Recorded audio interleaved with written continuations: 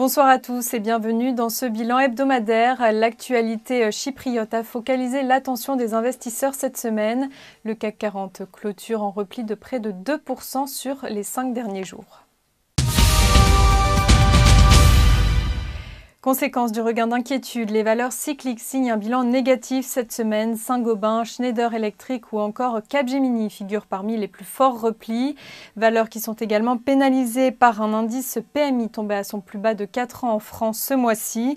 Du rouge également pour le secteur automobile. On a appris cette semaine un nouveau recul des ventes en Europe.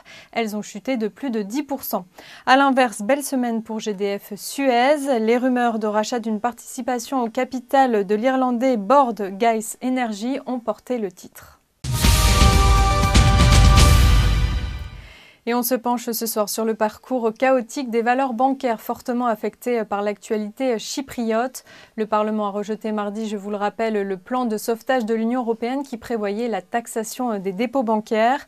Chypre a désormais jusque lundi pour présenter un plan B. L'Europe a déjà écarté une première alternative, celle de la création d'un fonds de solidarité pour recapitaliser les banques. Chypre a aussi essuyé un refus du côté de la Russie. Elle espérait prolonger un prêt de 2,5 d'euros.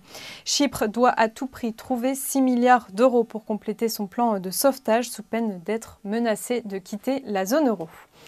C'est la fin de ce flash. Très bon week-end à tous. Et puis votre prochain rendez-vous, c'est lundi à 9h30.